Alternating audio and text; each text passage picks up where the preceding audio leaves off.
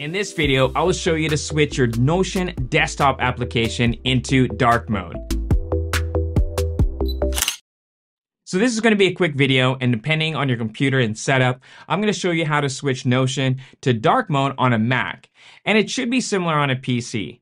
I did create a video on how to use Notion for productivity. And if you want to see that video after this one, the link will be in the description below. I had a question from that video on how to switch to dark mode. Now, depending on what system you are using, the Notion app might default to system settings. So if your system settings are already set in dark mode, you are good.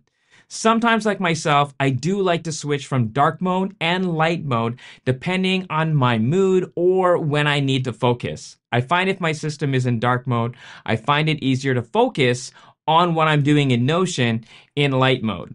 Funny enough, it was actually more difficult to find this setting than I originally thought. So let's jump in and show you what I mean.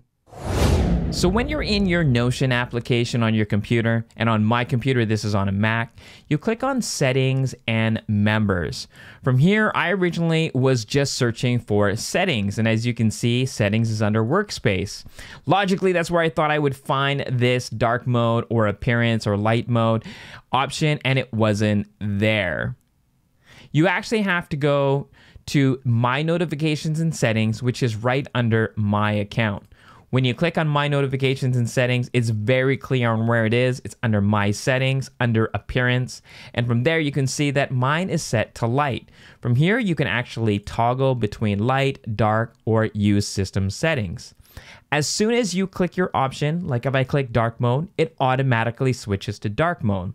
In my case, I like to switch it back to light mode. So when I'm focusing on a script or a presentation within Notion, I feel a lot more focus. Once you choose your selection, all you need to do is click away and you're good to go. There you have it. Simple and easy way to switch the Notion desktop application to dark mode. Found value in this video, you know what to do. Be safe, stay awesome, and I'll catch you in the next one.